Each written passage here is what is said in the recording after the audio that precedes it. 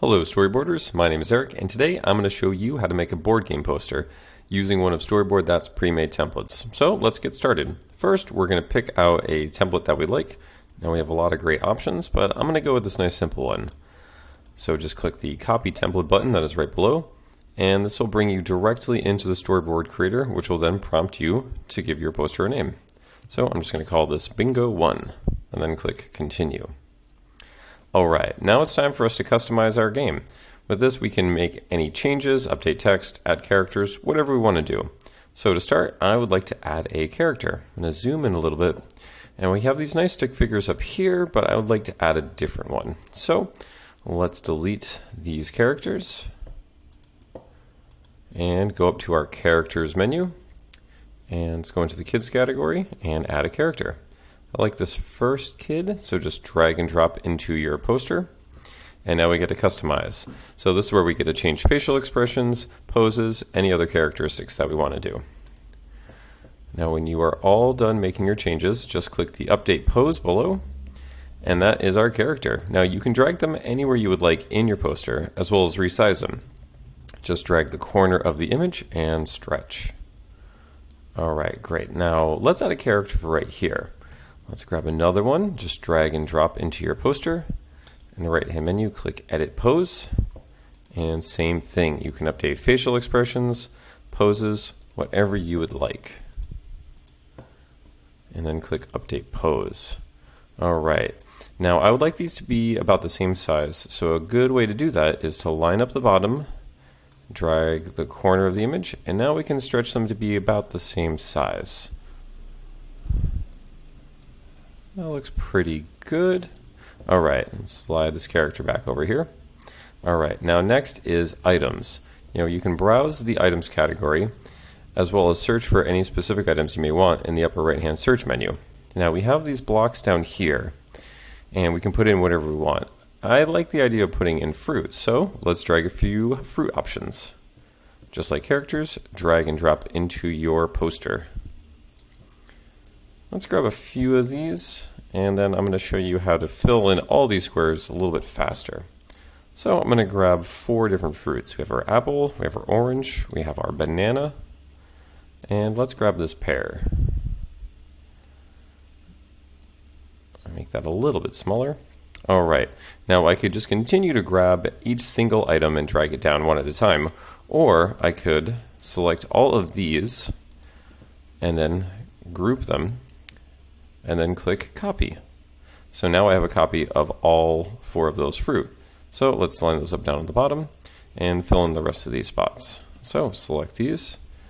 Now you don't need to group to copy, but you can just click copy again, and there we go. Let's just slide them on over. And then we got these two extra spots. Let's fix that. Now I would like to grab just the apple and the orange. So go to your right hand menu, click ungroup, and there we go. You can select these two items. Let's copy them, drag them over, and I like the same ones below. And that is how you do a quick fill with a nice variety without wasting your time dragging each individual item down. All right, now next is background. Now we have a lot of stuff in our board game poster, so we don't have a lot of room to see the background, but I'd still like to change it. So you select your item, and in the right hand menu, you can change the color to whatever you would like it to be. Or if you want to change the design completely, just delete the original design and select a new one. So I'm going to go up to our scenes menu. And since we have all this fruit, I think I would like some kind of farm. So we're going to go to country and rustic. All right, we got a nice little farm field here.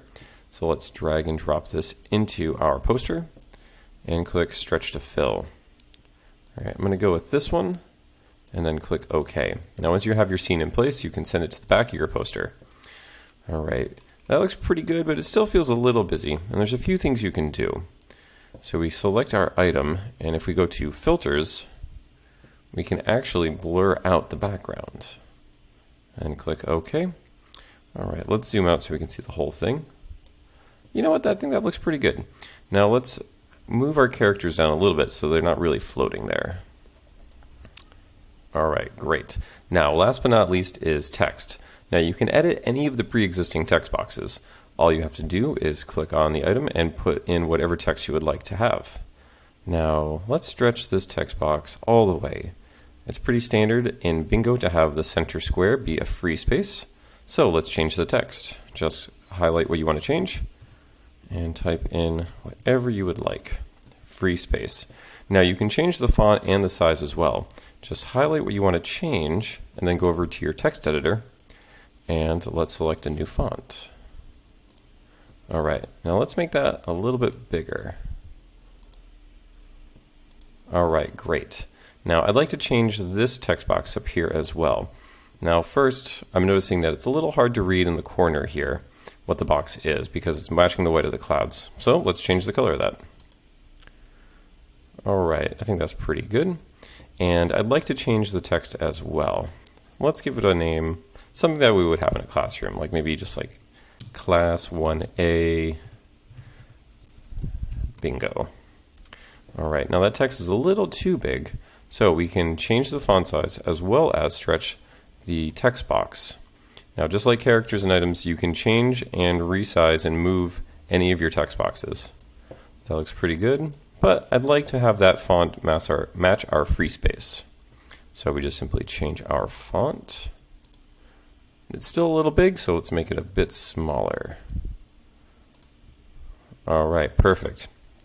Now, when you're all done making the changes to your board game poster, all you have to do is click the Save Exit button that's down in the bottom right hand corner of your screen, and that is how you make a game board poster using Storyboard That. Thanks for watching, and happy storyboarding.